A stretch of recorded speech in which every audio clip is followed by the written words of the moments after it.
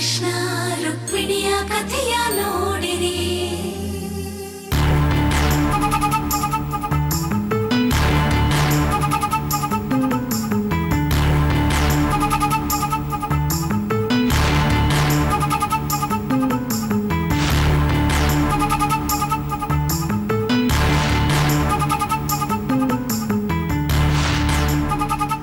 ಇದ್ಯಾಕೋ ಸಹನೆ ಅತಿ ಆಗೋಯ್ತು ಪೊಲೀಸ್ನವರು ಸಂಕ್ರನ್ನ ಅನುಮಾನದ ಮೇಲೆ ಅರೆಸ್ಟ್ ಮಾಡೋರೆ ಅಂತ ಅನ್ಕೊಂಡಿದ್ದೆ. ನರ್ಸೇಗೌಡ್ರು ಹೋಗಿ ಮಾತಾಡ್ಕೊಂಡು ಬುಡಿಸ್ಕೊಂಬರ್ತಾರೆ ಅಂತ ಸಮಾಧಾನವಾಗಿದ್ದೆ. ಆದ್ರೆ ನರ್ಸೇಗೌಡ್ರು ಸಂಕ್ರನ್ನ ಕೊಂದಾಗ್ತೀನಿ ಅಂತ ಎದುರಿಸೋರೆ ಅಂತ ಸುದ್ದಿ ಬಂದನೆ ಅನ್ಯಾಕೆ ಅನ್ಯಾಕೆ ಅವ್ರು ಬೇಕು ಅಂತಾನೆ ಸಂಕ್ರನ್ನ ಈ ಕೇಸ್ನಾಗ ಸಿಕ್ಕಾಕ್ಸವ್ರೆ. ಅಳಿಯ ಅಂತಂದ್ರೆ ಮಗನ್ ಸಮಾನ ಅಂತ ಎಲ್ಲರೂ ಹೇಳ್ತಾರೆ. ಶಂಕರ್ ಏನೋ ತಿಳಿದೆ, ತಪ್ಪು ಮಾಡಿದಾನೆ. ಅದನ್ನ ಲೆಕ್ಕಕ್ಕೆ ಇಟ್ಕೊಳ್ದೆ ಅವನ ಪರ ವಹಿಸ್ಕೊಂಡು ಮಾತಾಡೋದ್ ಬಿಟ್ಟು ಅವನನ್ನೇ ಎದುರಿಸ್ಬಿಟ್ಟು ಬಂದಿದ್ದಾರೆ ಇದೇನ ಅಳಿಯಂ ಕೂಡ ಮರ್ಯಾದಿ?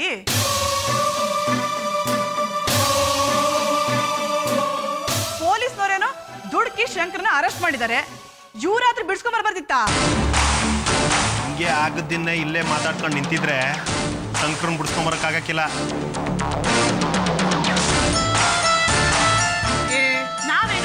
ಕೂತಿದೀವಾ ಈ ಮೂದೇವಿ ಮಲ್ಲಿಕನ ಕಂಪ್ಲೇಂಟ್ ವಾಪಸ್ ತಗೊಳ್ಳಿ ಅಂತ ಕೇಳ ಕಳ್ಸಿದಕ್ಕೆ ಆ ರುಕ್ಮಿಣಿ ತುಟಿಕ್ ಪಿಟಿಕ್ ಅಂದೇನೆ ಇವಳು ವಾಪಸ್ ಕಳ್ಸಿದಾಳೆ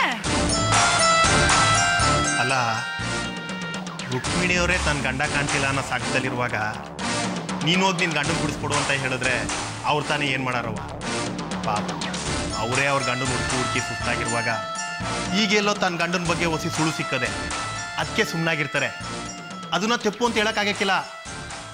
ಅಪ್ಪಯ್ಯ ನಾನು ಹೇಳೋದಾದ್ರೆ ರುಕ್ಮಿಣಿ ತಾವು ಮಾತಾಡೋಕ್ಕಿಂತವ ನರ್ಸೇಗೌಡ್ರು ತಾವು ಮಾತಾಡದೆ ವಾಸಿ. ಸಿಗು ತೆಗಿಲ ಗಾಡಿನ. ನೇರವಾಗಿ ನರ್ಸೇಗೌಡ ತಕ್ಕೋಗಿ ಕೂತ್ಕೆ ಪಟ್ಟಿ ಹಿಡ್ದು ಕೇಳವ. ಸಂಕ್ರ ಮೇಲೆ ಕೊಟ್ಟರು ಕಂಪ್ಲೇಂಟ್ ವಾಪಸ್ ತಗ ಅಂತ. ಅವನೇನಾರು ನಮ್ಮ ಮಾತು ಕೇಳಲಿಲ್ಲ ಅಂದ್ರೆ ಈ ಚಂದ್ರೇಗೌಡ್ನ ಇನ್ನೊಂದು ಮುಖ ತೋರಿಸ್ಬೇಕಾಯ್ತದೆ. ಮಾವ ಇಷ್ಟು ಚಿಕ್ಕ ವಿಷಯಕ್ಕೆ ನೀವೇ ಹೋಗ್ತೀರಾ? ನಾನಿಲ್ವಾ? ಎಲ್ಲಿ, ಯಾವಾಗ, ಯಾವ ಸ್ವಿಚ್ ಹಾಕಿದ್ರೆ ಲೈಟ್ ಹತ್ತುತ್ತೆ ಅನ್ನೋದು ನನಗೆ ಚೆನ್ನಾಗಿ ಗೊತ್ತಿದೆ.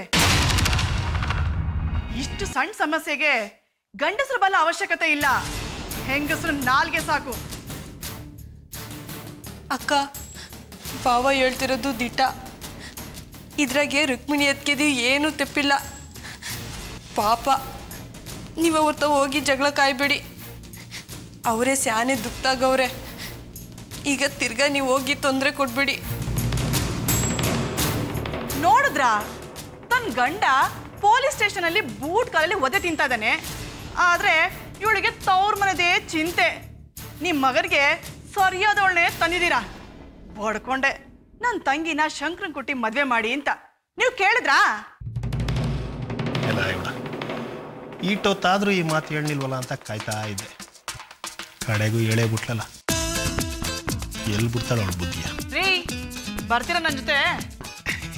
ನೀನೇ ಹೊಂಟಿದ್ಯಲ್ಲ ನೂರು ಜನ ಇದ್ರೂ ನಿನ್ ಬಾಯಿ ಮುಂದೆ ಎಲ್ಲ ಸುಮ್ಮನಾಗ್ಬಿಡ್ತಾರೆ ನೀನೇ ಹೋಗ್ಬಾ ಸರಿ.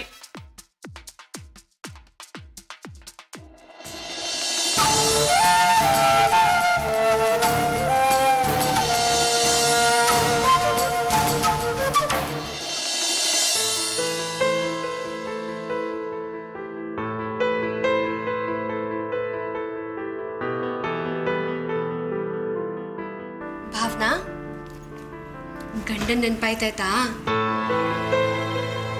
ಹೌದು ಅದಕ್ಕೆ ಮತ್ತೆ ಅವತ್ತು?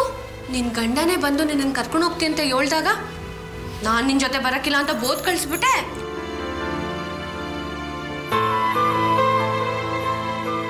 ಅವತ್ತು ಅಂದ್ರೆ ಅವ್ರ ಮೇಲೆ ಕೋಪ ಇತ್ತು. ಅದಕ್ಕೆ ಬೈದೆ. ಈಗ ಅವರು ಬೇರೆ ಮನೆ ಮಾಡಿ ನನಗೆ ಕರ್ಕೊಂಡು ಹೋಗ್ತೀನಿ ಅಂತ ಹೇಳಿದ್ರಲ್ವಾ? ಅದಕ್ಕೆ. ಅವ್ರ ಮೇಲೆ ನನಗೆ ಪ್ರೀತಿ ಬಂದಿದೆ. ಅದಕ್ಕೆ ನನಗೆ ಅವರು ನೋಡಬೇಕು ಅವ್ರ ಹತ್ರ ಮಾತಾಡಬೇಕು ಅಂತ ಅನ್ನಿಸ್ತಾ ಇದೆ. ಓ ಇನ್ನ ಇಸ್ಯಾ ಮತ್ತೆ ಇನ್ನೂ ಇಲ್ಲೇ ನಿಂತಿದ್ಯಾ? ಬಿರ್ನೆ ಹೋಗಿ ನೋಡು ನೀನು ಕಂಡ ಬಂದವನೆ. ಅದಕ್ಕೆ ಇದನ್ನು ಮೊದಲೇ ಯಾಕೆ ಹೇಳಲಿಲ್ಲ ನೀವು? ಪಾಪ ನಮ್ಮಿಂದ ಅಳಿಯಂದ್ರು ಇಷ್ಟೆಲ್ಲ ತೊಂದರೆ ಅನುಭವಿಸೋಕಾಯ್ತು ಅಷ್ಟೆಲ್ಲ ತೊಂದರೆ ಏನಿಲ್ಲ ಬಿಡಿ. ಯಾವತ್ತಿದ್ರೂ ಇಂಥ ಪರಿಸ್ಥಿತಿನ ಎದುರಿಸಲೇಬೇಕಿತ್ತಲ್ವಾ? ಅಳಿಯಂದ್ರು ಒಂದು ಎರಡು ಮೂರು ಮನೆ ನೋಡಿದಾರಂತೆ. ಅಡ್ವಾನ್ಸ್ ಕೊಡಕ್ ಮುಂಚೆ ನೀನು ನೋಡ್ಲಿ ಅಂತ ನಿನ್ನ ಕರ್ಕೊಂಡು ಹೋಗಕ್ಕೆ ಬಂದಿದ್ದಾರೆ. ಅಮ್ಮ ನಾನೇನ್ ಮನೆ ನೋಡಬೇಕು ಅಂತಲೇ ಏನಿಲ್ಲ. ಅವ್ರು ಬೇರೆ ಮನೆ ಮಾಡ್ತೀನಿ ಅಂತ ಹೇಳಿದ್ರಲ್ಲ ಅಷ್ಟೇ ಸಾಕು. ಅವ್ರು ಕರ್ಕೊಂಡು ಹೋಗಿ ಗುಡಿಸ್ಲಲ್ಲಿ ಬದ್ಕೋಣ ಅಂದ್ರೂ ನಾನು ಅವ್ರ ಜೊತೆ ಇರ್ತೀನಿ. ಇಂಥ ಮಾತಾಡೋದಕ್ಕೆಲ್ಲ ಚಂದ. ಅನುಭವಿಸೋದು ಕಷ್ಟಮ್ಮ. ಗಂಡ ನೋಡಿದ ಮನೆಯಲ್ಲಿ ಅಡುಗೆ ಮನೆ ಚಿಕ್ಕದು ಬಟ್ಟೆ ಒಗೆಯೋ ಕಲ್ಲಿಲ್ಲ ಬಾತ್ರೂಮ್ನಲ್ಲಿ ಲೈಟ್ ಇಲ್ಲ ಅಂತ ಹೇಳೋದಕ್ಕೂ ಮುಂಚೆ ನೋಡ್ಕೊಂಡು ಬರೋದು ಒಳ್ಳೇದು. ಅಜ್ಜಿ ಭಾವ್ನಂಗೂ ಜಾಗ ಬೇಕು ನೋಡಬೇಕು ಅನ್ನೋ ಆಸೆ ಸ್ಯಾನೆ ಅದೇ. ಆದ್ರೆ ಅದನ್ನ ಎಲ್ರೆದ್ರಿಗೂ ಹೇಳಿದ್ರೆ ಎಲ್ಲವಳ ಸ್ವಾಭಿಮಾನ ಕುತ್ತು ಬರ್ತದೋ ಅಂತ ಹಿಂಗ್ ನಾಟಕದ ಕೋಪ ಮಾಡ್ಕೊಂಡವಳೆ. ಇಷ್ಟೊತ್ತು ಕೋಣೆನ ಕೂತ್ಕೊಂಡು ಗಂಡನ್ ನೋಡ್ಬೇಕು ಅನ್ನೋ ಆಸೆ ನಂಗೆ ಆಗೈತೆ ಅಂತ ಹೇಳ್ತಿದ್ಲು ಈಗ ಗಂಡನ್ ನೋಡಿದ ಮ್ಯಾಕೆ ವರ್ಷ ಬದಲಾಯಿಸ್ತಾವಳೆ ಅಷ್ಟೇ. ಅದಕ್ಕೆ ಅದಕ್ಕೆ ನಿಮ್ಮ ಹತ್ರ ಏನು ಹೇಳ್ಬಾರ್ದು ಅನ್ನೋದು. ಸರಿ ಸರಿ. ಭಾವನಾ ಕತ್ಲೆ ಆಗೋಷ್ಟರಲ್ಲಿ ಹೋಗಿ ಮನೆ ನೋಡ್ಕೊಂಬಂದ್ಬಿಡು ನೀವು ಇವತ್ತು ರಾತ್ರಿ ಇಲ್ಲೇ ಊಟ ಮಾಡ್ಕೊಂಡು ಹೋಗಿ. ಹೋಗಮ್ಮ ರೆಡಿ ಆಗು. ಹೇಗೂ ಬೇರೆ ಮನೆ ಮಾಡ್ತೀರ? ನಮ್ಮ ಮನೆ ಪಕ್ಕದಲ್ಲಿ ನೋಡಿದ್ರೆ ಭಾವನ ಆಗಾಗ ಬಂದು ಹೋಗೋದಕ್ಕೆ ಸರಿ ಹೋಗುತ್ತೆ. ಅಜ್ಜಿ ಅಭಿಯೋರ್ ಹಂಗ್ ಮಾಡಿದ್ರು ಭಾವನ ಅದಕ್ಕೆ ಒಪ್ಪಕ್ಕಿಲ್ಲ ಯಾಕೆ ಹೇಳಿ? ಅವಾಗ ಗಂಡನ್ ಬಿಟ್ಟು ಬರೋ ಮನ್ಸಿರಕ್ಕಿಲ್ವಲ್ಲ? ಗಂಡ ಹೆಂಡ್ರು ಇಬ್ರು ಇರುವಾಗ ತವ್ರ ಮನೆ ಎಪ್ತಿ ಎಲ್ಲಿಂದ ಬರ್ಬೇಕು ಹೇಳಿ? ಹಾಗಾದ್ರೆ ಇಲ್ಲಿ ನಾವೆಲ್ಲ ಒಟ್ಟಿಗೆ ಇದ್ದೀವಿ. ಆದ್ರೂ ನಿನ್ಗ್ಯಾಕೆ ತೋರ್ ಮನೆ ನೆನಪಾಗೋದೇ ಇಲ್ಲ? ಯಾಕೆ ಅಂದ್ರೆ ಅಪ್ಪ ಅವ್ನಂಗೆ ಪ್ರೀತಿ ಮಾಡೋ ಅತ್ತೆ ಮಾವ ಜಗಳ ಆಡೋಕೆ ಗಂಡ ಎಲ್ರೂ ಇಲ್ಲೇ ಇರುವಾಗ ತವ್ರ ಮನೆ ಗೆಪ್ತಿ ಬರಕ್ಕೆ ಇಲ್ಲ. ನಾನ್ ನಿನ್ನ ಮಾತಲ್ಲಿ ಗೆಲ್ಲೋದಕ್ಕಾಗೋದಿಲ್ಲ ಬಿಡು. ಗೊತ್ತೈತೆ ತಾನೆ? ಮತ್ತೆ ಕಾಲ್ ಕೆತ್ಕೊಂಬತ್ತೀಯ ಶುರುವಾಯ್ತಾ ನಿಮ್ಮ ಜಗಳ? ಅಜ್ಜಿ ಇವ್ರಿಬ್ರು ಏನು ಕಮ್ಮಿ ಇಲ್ಲ. ನಮ್ಮ ಎದುರುಗಡೆ ಅಷ್ಟೇ ಹಿಂಗ್ ಜಗಳ ಮಾಡೋದು. ರೂಮಲ್ಲಿ ಅವ್ರಿಬ್ರೇ ಇದ್ರೆ. ಅಭಿ ನಿಮ್ಮ ಹೆಂಡ್ರನ್ನ ಬಿನ್ನೆ ಕರ್ಕೊಂಡೋಗಿ ಇಲ್ಲಾಂದ್ರೆ ಕತ್ಲೇಲಿ ಮನೇನ್ ಸರಿಯಾಗಿ ನೋಡಕ್ ಆಯ್ತಿಲ್ಲ ಅಂತ ನಿಮ್ನೆ ಬೈತಾರೆ.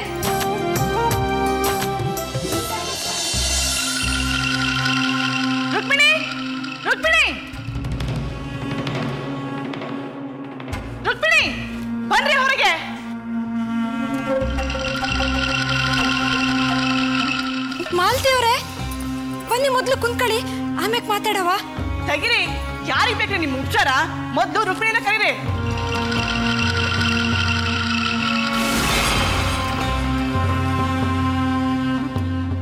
ಹೇಳಿ ಮಾಲ್ತಿ ಅವರೇ ನನ್ನಿಂದ ಏನಾಗ್ಬೇಕಿತ್ತು? ನಿನ್ನಿಂದ ನಮ್ಮ ಮನೆ ಮಾನ ಮರ್ಯಾದೆ ಎಲ್ಲ ಹರಾಜಾಗಿದೆ. ಇದ್ರ ಮೇಲೆ ಇನ್ನೇನಾಗಬೇಕು ಅಂತೀನಿ? ಅಲ್ಲ ನಿಮ್ ಜೊತೆ ಸಂಬಂಧ ಮಾಡಿದ ತಪ್ಪಿಗೆ ಇಂಥ ಬೆಲೆನ ಕೊಡೋದು? ನಮ್ಮ ಹುಡುಗನ ಮೇಲೆ ಹೇಗ್ರಿ ಕಂಪ್ಲೇಂಟ್ ಕೊಟ್ರಿ? ನಮ್ಮ ಹುಡುಗ ಮುತ್ತಿನಂತವನು. ಏನು ಗೊತ್ತಿಲ್ದಿರೋಂತ ಮಗುವಿನಂತ ಮನಸ್ನವನು ಅಂತವನ್ ಮೇಲೆ ಕೊಲೆಗಾರ ಅಂತ ಹೇಳ್ತಿರಲ್ಲ ಎಷ್ಟು ಧೈರ್ಯ ನಿಮ್ಗೆ? ನಿಮ್ ಕೃಷ್ಣ ಏನ್ ಸಾಚನ? ಮದ್ವೆಗ್ ಮುಂಚೆ ಅವನು ಗಲಾಟೆ ಮಾಡಿದವನು. ಎಷ್ಟೋ ಜನಗಳನ್ನ ಹೊಡೆದವನು. ಎಷ್ಟೋ ಸಲ ಪೊಲೀಸ್ ಸ್ಟೇಷನ್ ಮೆಟ್ಲತ್ತವನು ಆಗ ಅವನ ಹತ್ರ ಹೊಡೆತ ತಿಂದವ್ರು ಯಾರೋ, ಮದ್ವೆ ಮನೆಗೆ ಬಂದು ಅವನ್ನ ಹೊಡೆದು ಕಿಡ್ನಾಪ್ ಮಾಡಿರ್ಬಹುದು. ನಿಮ್ಮ ಹುಡುಗ ಮಾಡೋ ಅವಾಂತರಕ್ಕೆ ನಮ್ಮ ಹುಡುಗನ ಯಾಕ್ರಿ ಬಲಿ ಕೊಡ್ತೀರಾ? ಏನಮ್ಮ? ನಾನು ಅವಾಗಿಂದ ನೋಡ್ತಾನೆ ಇವನಿ. ನಿನ್ನ ನಾಲ್ಗೆ ಸ್ಯಾನೆ ಉದ್ದ ಆಯ್ತದೆ ನೋಡು, ಹೆಣ್ಮಗ ಅಂತ ಸುಮ್ಕೆ ಬಿಟ್ಟಿವ್ನಿ. ನನ್ನ ಮುಂದೆ ನನ್ನ ತಮ್ಮನ್ ಬೈತಾ ಇದೆಯಲ್ಲ ನನ್ನ ತಮ್ಮನ ಬಗ್ಗೆ ನಿನ್ಗೇನಮ್ಮ ಗೊತ್ತು? ಯೋ, ಎಲ್ಲ ಗೊತ್ತು ಬಿಡಯ್ಯ. ಕಂಡ್ ಕಂಡ್ ಹುಡುಗಿಯರಿಂದ ಗುಂಡ್ರು ಗೋವಿ ತರ ತಿರುಗ್ತಾ ತಿರುಗ್ತಾನೆ. ಈ ರುಕ್ಮಿಣಿಯಿಂದ ಬಿದ್ದು ಹೆದರ್ಸಿ ಬೆದರ್ಸಿ ಅವಳ ಮದುವೆ ಮಾಡ್ಕೊಂಡಿದ್ದು.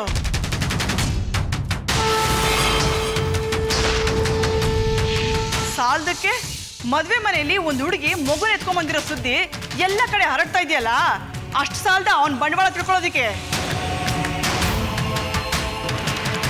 ಅಂತ ಹುಡುಗಿ ರುಚಿರೋ ಪೋಲಿ, ಅವನ್ ಕಾಣ್ತಾ ಇಲ್ಲ ಅನ್ನೋದಕ್ಕೋಸ್ಕರ?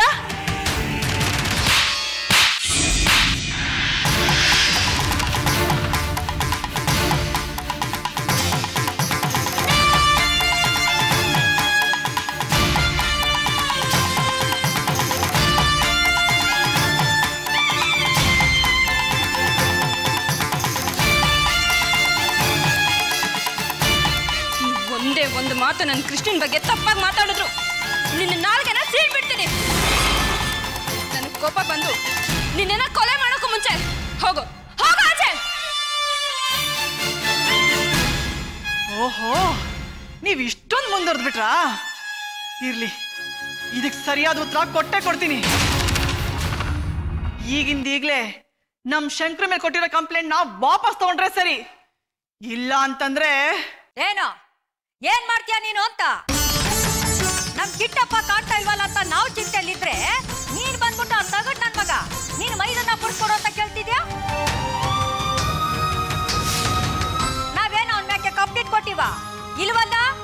ನಾವು ನಮ್ಮ ಮಗ ಕಾಣ್ತಾ ಇಲ್ಲ ಅಂತ ಕೇಳ್ಕೊಂಡು ಪೊಲೀಸ್ನವರು ಸೀದಾ ಬಂದು ಅವ್ನ ಎತ್ತಾಕೊಂಡು ಹೋಗವ್ರೆ. ಸುಮ್ ಸುಮ್ಕೆ ಎತ್ತಾಕೊಂಡು ಹೋಗಕ್ಕೆ ಅವ್ರಿಗೇನು ಹುಚ್ಚಿಡ್ದೈತಾ ಎತ್ತಾಕೊಂಡು ಹೋಗವ್ರೆ ಅಂದ್ಮ್ಯಾಕೆ ಏನಾರ ಬಲವಾದ ಕಾರಣ ಇದ್ದೇ ಇರ್ತದೆ. ನಡಿಲಿ, ಅವ್ನ್ ತೆಪ್ ಮಾಡವನ ಇಲ್ವೋ ಅನ್ನೋದು ಕೋರ್ಟ್ ತೀರ್ಮಾನ ತಗೊಳ್ತದೆ ಹೋಯ್ತಾ ನೀನು? ಓ ನೀವ್ ಈ ರೂಟಲ್ಲಿ ಇದ್ದೀರಾ? ನೀವು ಕಡ್ಡಿ ಮುರಿದಂಗ್ ಮಾತಾಡಿದ್ಮೇಲೆ ನಾನು ಒಂದು ತೀರ್ಮಾನ ಮಾಡಿದ್ದೀನಿ ಅದೇನು ಅಂತ ಸದ್ಯದಲ್ಲಿ ಗೊತ್ತಾಗತ್ತೆ.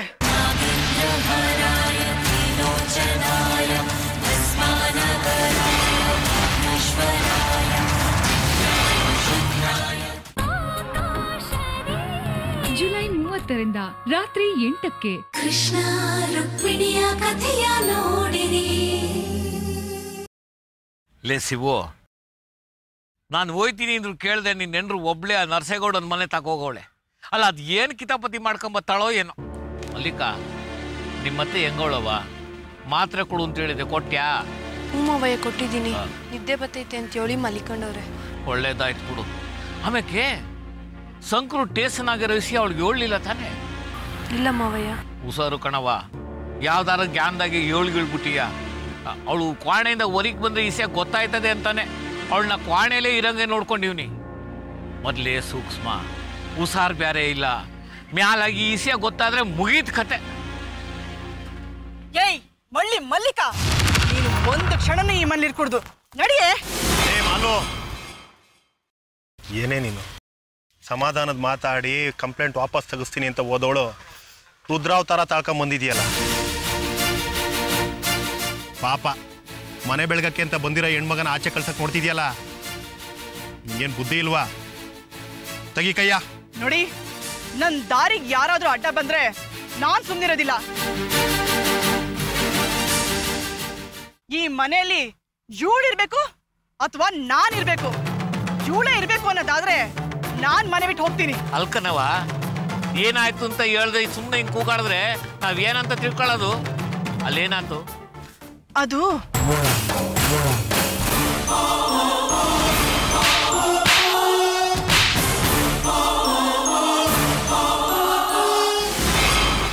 ಅಲ್ಲೇನಾಯ್ತು ಅನ್ನೋದು ಮುಖ್ಯ ಅಲ್ಲ.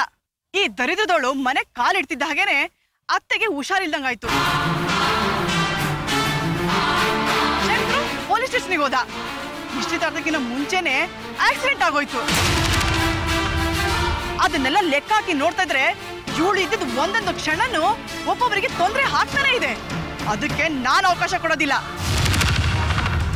ಮಾಲ್ತಿ ನಿನ್ನ ಮನ್ಸ್ನಾಗ ಏನೋ ಇಟ್ಕೊಂಡು ಕೂಗಾಡ್ತಿದ್ಯ ಅಂತ ನನಗೆ ಗೊತ್ತು. ಪಾಪ ಅವ್ವ ಇಲ್ಲದಿರೋ ಹೆಣ್ಣು ಮಗ ಹಿಂಗೆ ಒಳಕ ಬಿಡಕ್ಕನೆ ಅಲ್ಲ ನರ್ಸೇಗೌಡ್ರು ಕಂಪ್ಲೇಂಟ್ ಕೊಟ್ರೆ ಇವಳೇನು ಮಾಡ್ತಾಳೆ ಹೇಳು? ಸಾಕ್ ಸುಮ್ಮನೆ ಇರ್ರಿ. ನನಗಾಗಿರೋ ಅವಮಾನಕ್ಕೆ ಇವಳನ್ನ ಇಲ್ಲೇ ಕೊಂದ್ಬಿಡ್ಬೇಕು ಅನ್ನೋಷ್ಟು ಕೋಪ ಬರ್ತಾ ಇದೆ. ಆದ್ರೆ ಇನ್ನೂ ಆ ಕೆಲಸ ಮಾಡಿಲ್ವಲ್ಲ ಅಂತ ಸಂತೋಷ ಪಡಿ. ಅಕ್ಕ, ನೀವು ನನ್ನ ಕೊಂದ್ರು ಸರಿಯೇ. ಈಗ ಮಾತ್ರ ನಾನು ಈ ಮನೆ ಬಿಟ್ಟು ಎಲ್ಗೂ ಹೋಗಕ್ಕಿಲ್ಲ. ನನ್ನಿಂದನೇ ನನ್ನ ಗಂಡ ಟೇಷನ್ ಆಗವ್ರೆ ಅನ್ನೋ ಕಳಂಕ ಬಂದೈತಲ್ಲ? ನನ್ಗೆ ಗೊತ್ತು ನನ್ನ ಗಂಡ ಸ್ಯಾನೆ ಒಳ್ಳೆಯವರು. ಅವರು ನಿರಪರಾಧಿ ಅಂತ ಎಲ್ಲರದ್ರಿಗೂ ತೋರಿಸ್ಕೊಟ್ಟು ಆಮೇಲೆ ಇಲ್ಲಿ ಒಂದು ಸಣನೂ ಇರಕ್ಕಿಲ್ಲ. ನಿಮ್ದಮ್ಮಯ್ಯ ಅಂತೀನಿ. ಅಲ್ಲಿ ಗಂಟ ನನ್ಗೆ ಈ ಮನೆನಾಗಿರಕ್ಕೆ ಅವಕಾಶ ಮಾಡ್ಕೊಡಿ. ಅವಳು ಹೇಳ್ತಾ ಇರೋದು ಸರಿಯಾಗಿ ಅದಕ್ಕೆ ನಾವ? ನನ್ನ ಮಗ ತೆಪ್ ಮಾಡಿಲ್ಲ ಅಂತ ತೀರ್ಮಾನ ಆ ದಿವಸ ನರಸೇಗೌಡನ ಮನೆಗೆ ಹೋಗಿ ಅವನ ಹತ್ರ ಮಾತಾಡಿ ನಮಗಾಗಿರೋ ಅವಮಾನಕ್ಕೆ ಸೇಡ್ ತೀರ್ಸ್ಕೊಂತೀನಿ. ಅದಕ್ಕೋಸ್ಕರ ಈ ಮಗಿ ಬಾಳ್ ಹಾಳು ಮಾಡೋದು ಬೇಡ. ಅಲ್ಲಿ ಗಂಟ ಅವಳು ಇಲ್ಲೇ ಇರ್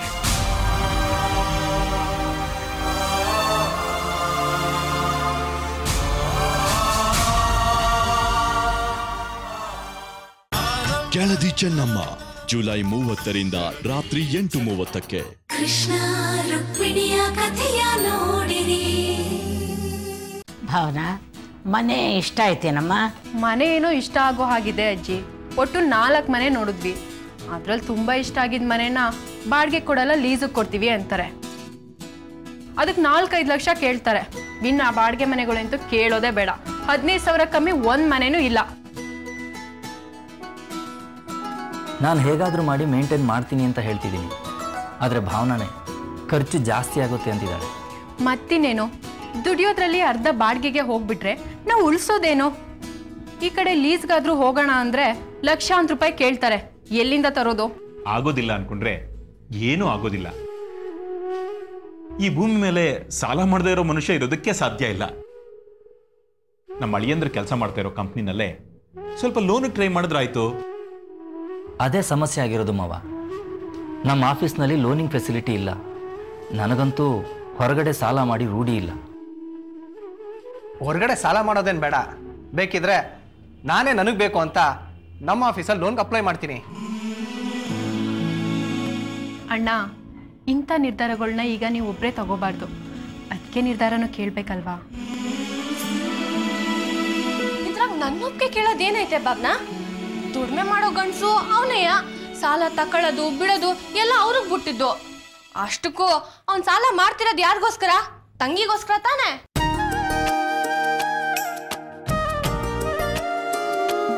ನೀವಿಬ್ಬರು ಇಷ್ಟೊಂದು ಸಪೋರ್ಟ್ ಕೊಡ್ತಿರೋದನ್ನ ನೋಡಿದ್ರೆ ನನಗೆ ತುಂಬ ಸಂತೋಷ ಆಗ್ತಿದೆ.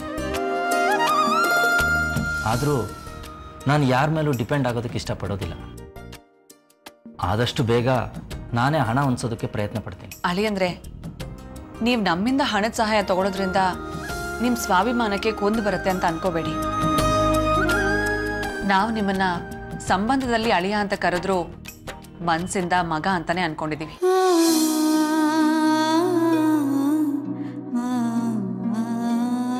ನಮ್ಮ ಉಳಿಕೆ ಗಳಿಕೆ ಎಲ್ಲ ನಮ್ಮ ಮಕ್ಳಿಗೆ ತಾನೇ ಸೇರ್ಬೇಕು. ನೀವ್ ಮಾಡೋ ಪ್ರಯತ್ನ ನೀವು ಮಾಡಿ. ನಮ್ಮಿಂದ ಎಷ್ಟು ಸಾಧ್ಯ ಆಗುತ್ತೋ ಅಷ್ಟು ಸಹಾಯ ಮಾಡ್ತೀವಿ. ಆದ್ರೆ ಅದಕ್ಕೆ ಮಾತ್ರ ನೀವು ಬೇಡ ಅನ್ಬಾರ್ದು. ಆಗಲಿ. ನೀವು ಹೇಳ್ದಾಗೆ ಮಾಡೋಣ. ಆದರೆ ಇಲ್ಲಿ ನನ್ನ ನಿರ್ಧಾರಕ್ಕಿಂತ ಭಾವನಾ ನಿರ್ಧಾರನೇ ಮುಖ್ಯ ಆಗುತ್ತೆ. ನಾನು ನೋಡ್ಕೊಂಬಂದಿರೋ ಮನೆಗಳಲ್ಲಿ ಭಾವನಾಗೆ ಬಾಡಿಗೆ ಮನೆ ಇಷ್ಟನೋ? ಅಥವಾ ಭೋಗಿದ ಮನೆ ಇಷ್ಟನೋ ಅನ್ನೋದನ್ನ ತಿಳ್ಕೊಂಡು ಪ್ಲ್ಯಾನ್ ಮಾಡ್ತೀನಿ. ನೋಡಿ, ಏನೇ ತೀರ್ಮಾನ ತಗೊಳಂಗಿದ್ರು ಬಿರ್ನೆ ತಕೊಳ್ಳಿ ಪಾಪ ನಮ್ಮ ಭಾವನ. ನಿಮ್ಮಿನ್ನ ದೂರ ಇರೋಕ್ಕಾಗದೆ ಒಳೊಳಗೆ ಕೊರಗ್ತಾವಳೆ. ನೀವಿನ್ನೂ ತಡ ಮಾಡಿದ್ರೆ ಆಮೇಲೆ ನಮ್ಮ ಭಾವನ ಎಲ್ಲಿ ಅಂತ ಬೂದ್ಗಾಜ್ ಇಟ್ಕೊಂಡು ಹುಡುಕ ಸಣ್ಣ ಆಗೋಯ್ತಾಳ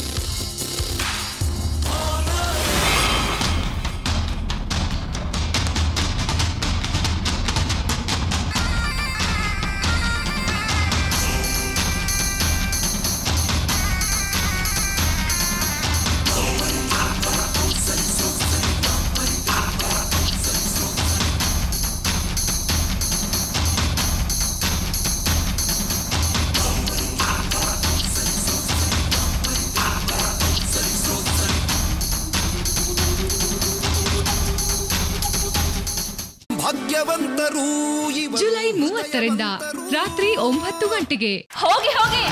ಅಲ್ಲಿ ಹೋದ್ಮೇಲೆ ಗೊತ್ತಾಗುತ್ತೆ. ಹುಚ್ಚಿ ನಾನ ಇಲ್ಲ ನೀವಾ ಅಂತ. ನನ್ನೇ ಹುಚ್ಚಿ ಅಂತ ನನಗೆ ಗೊತ್ತು.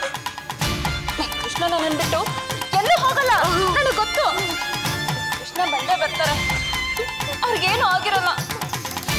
ನನಗೆ ಗೊತ್ತು.